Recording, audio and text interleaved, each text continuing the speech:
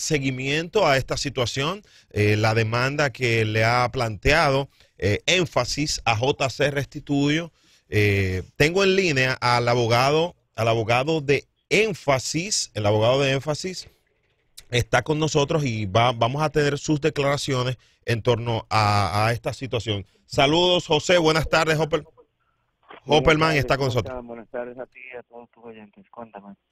Bueno, ¿de qué se trata esta, esta demanda? Mira, no es una demanda, es una acción penal. Ok. Por el hurto o robo de la propiedad intelectual, el derecho de autor del señor Énfasis.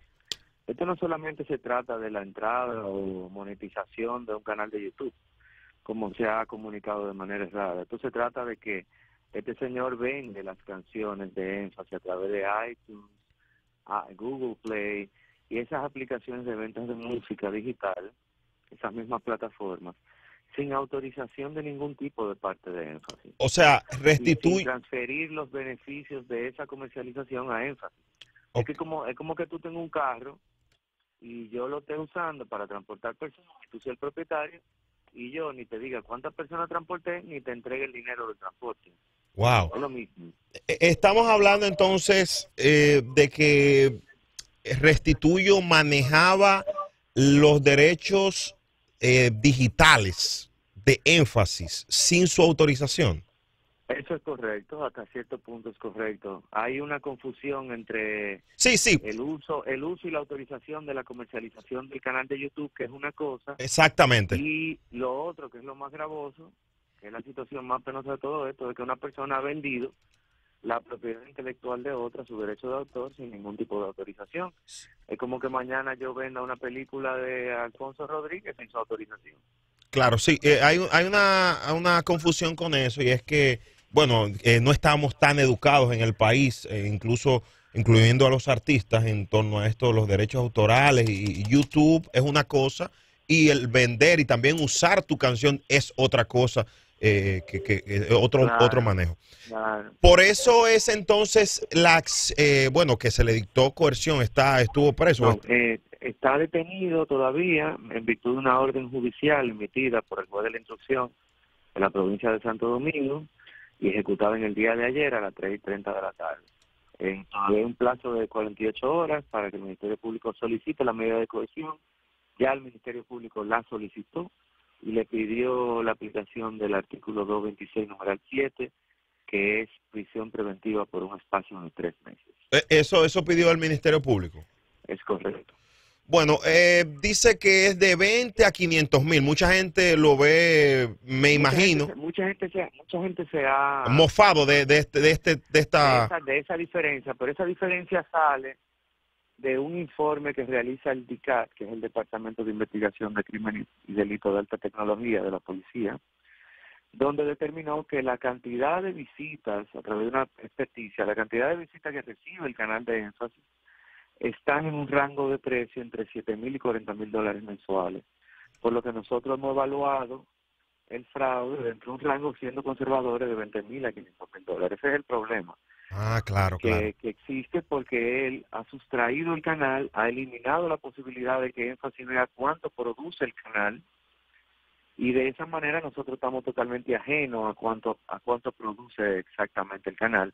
Solamente tiene acceso a él y es lo que le hemos pedido que nos entregue ese acceso y que nos devuelva el, el, contra, el total control de este canal que le pertenece a énfasis sin discusión. Aquí hay algo que no está en discusión. ¿Qué y es? que Juan Carlos Restituyo tiene su poder el canal de YouTube de énfasis y que ha comercializado su derecho de autor. Entonces, lo que se está pidiendo es que se deje de comercializar, que entregue el acceso completo de YouTube sin ningún tipo de condición y que pague los valores que ha sustraído a su favor sin que le correspondieran. ¿Qué tiempo, ¿qué tiempo llevo, lleva esta investigación? Esta investigación tiene, tiene alrededor de tres meses y medio oh. y yo en el caso alrededor de 20 días. Una cosa, José, eh, en el, la acción penal hay eh, espacio para la conciliación. Sí, esto es una esto es una acción de acción pública e instancia privada, valga la redundancia. Okay. El Ministerio Público actúa porque nosotros hemos actuado. Si nosotros no actuamos, el Ministerio Público carece de facultad para actuar. Ok, porque, es porque no, privado, porque es privado. interés privado. Ok. Es un interés privado, aunque al Estado le interesa la persecución de este tipo de delitos, porque de lo que aquí se trata es de un robo. Pero hay una diferencia entre robo y las personas siempre entendemos que robo es llevarse algo que es casi siempre material. Pero, pero, tocar, pero ya el la- derecho de autor es inmaterial, claro. No se puede tocar, no se puede ver, en algunos casos se puede solamente ver, en otros se puede solamente escuchar, o sea, Wow. eh, no es esa definición corpórea de, de la propiedad, sino una incorpórea. Y por eso que lo encontramos tan escandaloso que una persona robe este tipo de cosas. Pero sí, pasa muy a menudo. ¿Hay, hay ya precedentes en la justicia? ¿Se ha, eh, ha dictado alguna sentencia contra personas en este tipo de, de- de crímenes? Hay muchísimas sentencias sobre violación de derechos de autor y sobre propiedad industrial y sobre crimen y delito de alta tecnología en la República Dominicana. Esto no es No es nuevo. una esto no es nuevo, inclusive las leyes son del 2007, del 2000, la 6500, o sea, son leyes que ya tienen bastante tiempo en aplicación en la República Dominicana. Bueno, de verdad, eh, agradecer a José Hoppelman por, por su- estas palabras. Eh, ¿Cuándo es entonces ya se ven en la justicia nuevamente? Esta ta- esta noche a las 6, a las 7 de la noche. A las 7 de la noche. Bueno, ¿y, y cómo se ha mostrado el, el acusado ante ustedes? ¿Ahí eh, eh, ha mostrado deseos de- conciliar? Él, él se muestra en, en, en cierta forma conciliador, pero con una actitud media burlona, como si no tuviera ningún tipo de respeto por la justicia y por las autoridades que están llevando a cabo este proceso. Bueno, ahí está, nos mantenemos Puede en... ser fruto de su edad, puede ser que un joven que tiene 25 años, Es un muchacho muy joven, restituyo y... y- pero la, la ley se aplica desde los 14 años. wow. Pero ah, que no es tan joven para la ley. énfasis está en, en, en deseos también, su defendido de, de- de- de conciliar y de que esto no pase a más Claro que sí, siempre, todo el tiempo. todo el tiempo. Bueno, ahí está, ahí está. Muchísimas gracias, Hoppelman, por las declaraciones. Es el abogado de énfasis en, esta, en este caso eh, contra José Restituyo. Yo creo que siempre hay espacio para eh, la paz. Nosotros no podemos en este, en este medio, el más importante de la música en la República Dominicana, eh, eh, la guerra. No, no, no, no buscamos la guerra, sino la paz. Que esto llegue a un feliz término. Lógicamente, como he dicho, un hombre perdona más fácil que te le quiten la vida a un familiar que a que te quiten lo que tú entiendes que es tu propiedad. Que se sienten en la mesa, que restituyo, devuelva lo que tenga que devolver y que hablen y que todo llegue a feliz término.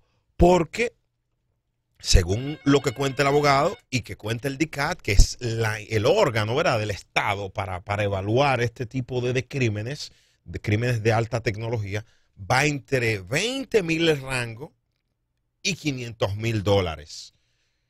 Una situación, es un lío feo, porque es un lío que envuelve propiedad intelectual, envuelve dinero y envuelve jóvenes de acá que uno quiere, uno quiere bastante. Mortal. Vamos a la para. Suena Mozart, Chimbala y Little Chuck porque no están en demanda en lío.